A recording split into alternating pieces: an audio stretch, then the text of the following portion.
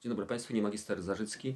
Y, Muszę Państwa poinformować, że spotkanie z Panem Korwin-Mikke odbędzie się nie tak jak planowałem 12, ale 11 września o godzinie 19. Y, Nie wiem w tej chwili jeszcze, którą salę będę mógł wynająć, bo jest y, piątek, późna, późna pora i nie da się w tej chwili sali wynająć, ale w poniedziałek rano już będę wiedział, to będzie albo Dom Kultury, Staszowski Ośrodek Kultury, albo Hotel Gwarek.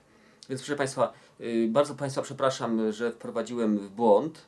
Y, No może nie tyle w błąd, co po prostu zmieniły się y, plany Pana Korwin-Mikke związane z telewizją, proszę Państwa, krótko mówiąc, bo pewien występ w telewizji nagle, nagle wystrzelił w tym momencie, kiedy miało być spotkanie w Staszowie, no i Pan Janusz Korwin-Mikke musiał to spotkanie przełożyć sobie z 12 na 11.